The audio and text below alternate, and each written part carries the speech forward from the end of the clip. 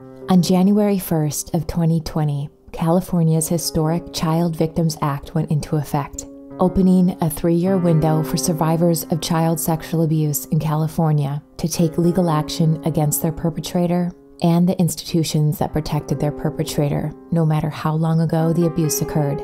This window closes on December 31st of 2022. Brother Hal Ellis was accused of sexually abusing two mentally disabled men at the Sacred Heart Jesuit Center, a retirement home for priests in Los Gatos, California.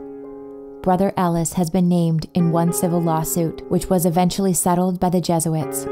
At the time of the settlement, Brother Ellis was ill and could no longer communicate. Brother Ellis's status as a priest, current whereabouts, and whether he has access to children are unknown. If you or anyone you know has been sexually abused by a clergy member in the state of California at any time, contact us confidentially today.